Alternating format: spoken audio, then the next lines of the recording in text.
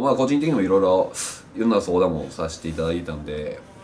こちら側の身になっていろいろ考えていただいてこの辺にすごく気を使っていただいたなと。あの本当に皆さん大先輩なんででも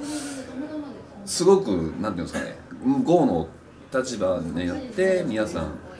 アドバイスをいただいたり。うん。本当に感謝ですね本当に皆さんに助けられたなっていうふうに本当に思いますね。あのまあ、監督さんが2人いらっしゃってでまあ正直どういう風になるのかなっていう思いもあったんですけど2人とも違う感性なんですけど最終目標としてる、うん、とと感情だったり取りたいものっていうのが一致してるなっていうのをすごく途中で感じたのでお互いの違う感性がこういい具合にあの、まあ、混ざってじゃないですけど終始それはすごく新鮮でした。はい。フローレンスの涙を代償に息子の秀樹が誘拐されました。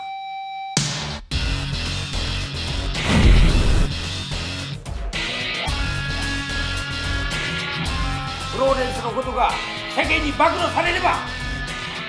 この会社はなくなる。